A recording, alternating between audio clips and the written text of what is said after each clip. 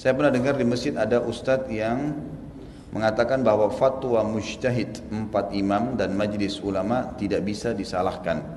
Walau hadisnya lemah, apakah ini termasuk tidak beradab pada Rasulullah SAW? Tentu benar, ya, tidak boleh disalahkan. Saya sudah pernah jelaskan ini pada saat kita membahas tentang e, bagaimana kita berperilaku terhadap para ulama. Ya. Harus menghormati pendapat Imam Syafi'i, Imam Malik, Imam Ahmad, Imam Abu Hanifah, Selama mereka menyebutkan pendapatnya dan ada dalilnya, maka kita hormatin.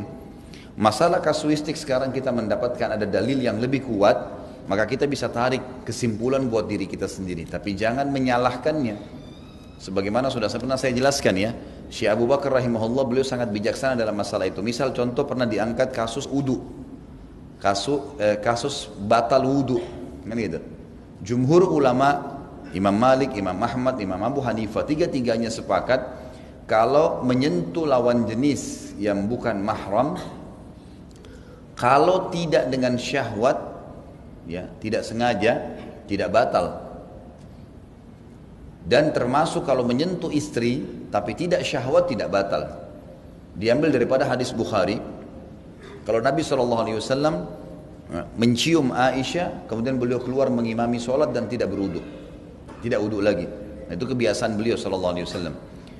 Imam Syafi'i sendiri dalam masalah ini. Imam Ahmad ada di Irak, Abu Hanifah ada di Irak, Imam Malik ada di Imam Malik ada di Madinah, Imam Syafi'i ada di Mesir. Waktu itu transportasi luar biasa rumitnya, susah.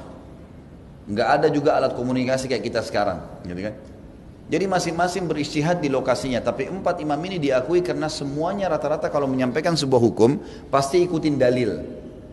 Makanya dianggap empat madhab ini adalah empat yang dipegangi oleh ahli sunnah wal jamaah. Yang mana saja dipegangi insya Allah dianggap orang itu masuk dalam ahli sunnah wal jamaah.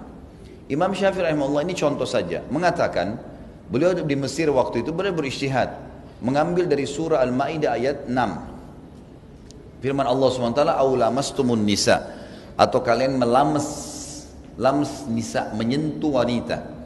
Kata beliau, ini ayat menjelaskan tentang masalah wudhu dan batal kalau menyentuh wanita kata-kata lams ya. Berarti menyentuh wanita batal. Sengaja tidak sengaja? Nggak bisa. Kecuali mahram abadi seperti ibu tante. Kalau mahram sementara termasuk istri batal. Madhab syafi'iyah begitu. Jadi orang suami tidak sengaja pegang istrinya tidak ada pelapisnya maka batal. Sengaja tidak sengaja. Syahwat atau tidak syahwat? Istihadnya Imam Syafi'i beranjak daripada Al-Maidah ayat 6 gitu kan Jumhur ulama menjelaskan tadi tiga imam kalau ayat ini aulamastumun nisa masuk kata-kata lams adalah jima berhubungan biologis atau menyentuh dengan syahwat. Ini perselisihan pendapat mereka. Di sini Syekh Abu Bakar rahimahullah mengatakan Imam Syafi'i rahimahullah punya hak beristidlal dengan itu. Walaupun kemungkinan hadis Bukhari tadi tidak sampai pada beliau, gitu kan? Maksudnya hadis tadi itu bukan mustahil tidak sampai. Tetapi beliau beristihad dengan dalil ayat Al-Quran dan tidak boleh kata Syekh Abu Bakar rahimahullah Imam Syafi'i menarik pendapatnya kalau dia yakin ayat ini benar. Ya. Maka kita harus hormatin, gitu kan?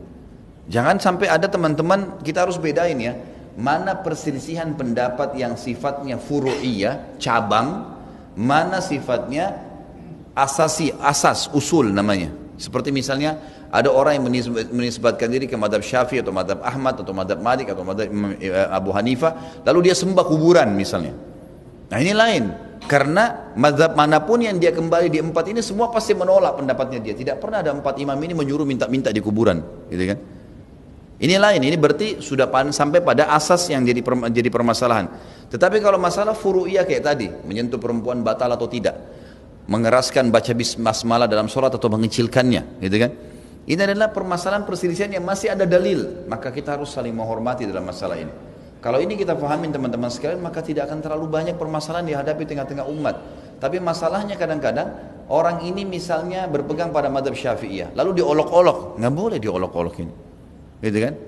Saya dengar ada suami istri menikah, kemudian si abu uh, si suami ini berpegang pada pendapat syafi'iyah, si istri berpegang pada pendapat hanabilah, gitu kan? Suami yakin sentuh sengaja tidak sengaja batal wudhu. Istrinya selama ini berpegang pada pendapat sebelah sebelum nikah belajar agama, kalau ini tidak batal. Dia nasihatin suaminya, suaminya bilang ini pendapat masing-masing. Ternyata si istri sering kerjain suaminya. Sudah uduk sering diolok-olok, disentuh-sentuh sengaja. Suaminya uduk lagi. Ini nggak boleh. Kan gitu. Ini mengolok-olok pendapat nggak boleh. Ini jangan dianggap bahan bercandaan gitu kan? Hargai suaminya harus gitu. Karena ini masalah ijtihadiyah di mana ada dalilnya. Ya. Di sini harus kita hormatin teman-teman sekalian. Kalau masalah hadis itu lemah, kemudian diamalkan, itu bukan sama sekali tidak menghormati Nabi SAW. Sama sekali tidak. Karena hadis lemah pun, oleh para ulama hadis dibolehkan untuk diamalkan, tapi ada syaratnya. Ulama hadis memberikan syarat yang saya ingat sekarang tiga. Yang pertama hadis itu tidak boleh terlalu lemah. Artinya jangan sampai lemahnya karena ada pendusta misalnya. Di, di sanat hadisnya ya, ada orang yang mendusta atau memang dari matan hadis, isi hadis kelihatannya lemah sekali nih. Ya. Nabi SAW tidak pernah sebutin, tidak ada dukungan ulama hadis tentang hadis itu. Biasanya mereka bilang majhul, ini hadis nggak jelas nih, gitu kan? Maka ini berarti ditinggalkan. Tapi kalau lemahnya tidak terlalu lemah, misal karena ada perawi hadis A meriwayatkan dari B, B dari C, C dari sahabat Nabi, sahabat Nabi dari Nabi SAW. Si B ini lemah hafalannya, sehingga hadisnya menjadi lemah. Maka ini lain. Ini lemahnya tidak terlalu lemah karena memang sebenarnya karena ada kasus saja atau ada orang yang sering disebutkan dalam ilmu hadis ikhtalat fi akhir umrihi. Berubah hafalannya di akhir hidupnya. Ada orang masa mudanya hafalannya kuat Masya Allah. Begitu dia masa tuanya tiba-tiba dia mencampur adukan hadis. Jadi misalnya inna malamalu bin niyat dibalik sama dia. Inna niyatu fil amal misalnya dibalik. Maka ini akhir hadisnya yang terakhir nggak diterima, hadis yang pertama diterima. Gitu. Ini contoh, jadi tidak tidak masuk dalam terlalu lemah. Yang kedua, yang itu, dia tidak bertolak belakang dengan hadis-hadis yang lebih kuat.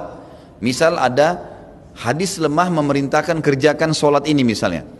Hadis Hasan yang lebih kuat atau hadis Sahih mengatakan jangan kerjakan.